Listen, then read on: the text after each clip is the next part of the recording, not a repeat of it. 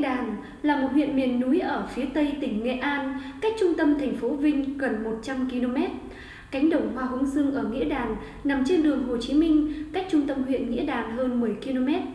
Hướng dương là một loại cây có vòng đời một năm, luôn vươn mình về phía ánh nắng mặt trời. Hướng dương nở rộ vào tháng 5, nhưng có nơi trồng trái mùa nên sẽ nở vào tháng 11 và tháng 12.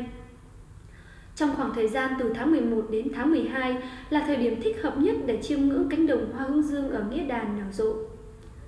Để thỏa sức ngắm hàng ngàn bông hoa hướng dương lung linh trong nắng, nếu đi xe khách từ Hà Nội các bạn ra bến xe Mỹ Đình hoặc Giáp Bát, bến xe nước ngầm có rất nhiều loại xe về Nghĩa Đàn.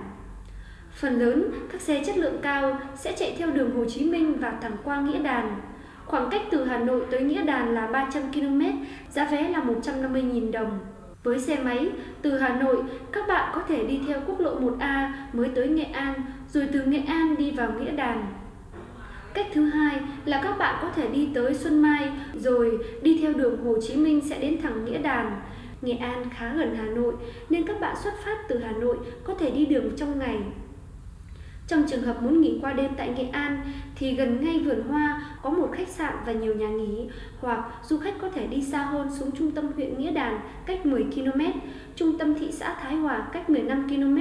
Cũng có rất nhiều khách sạn và nhà nghỉ để lựa chọn. Một số điều cần lưu ý khi đến với cánh đồng hoa hướng dương. Cánh đồng hoa hướng dương là một nông trường nguyên liệu để phục vụ cho sản xuất, chăn nuôi nên mở cửa tự do.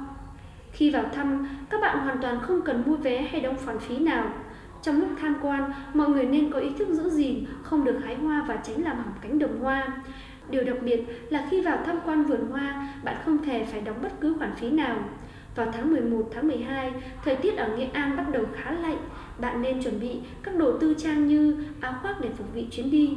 Thuê thêm một chiếc thang với giá 25.000 đồng sẽ rất hữu ích cho các bạn chụp ảnh, đặc biệt khi bạn muốn thư giãn, ngắm nhìn toàn cảnh đồi hoa hướng dương rộng mênh mông mang theo kem chống nắng, mũ nón để bảo vệ da cho thời tiết ở miền Tây Nghệ An nắng nóng hơn Hà Nội.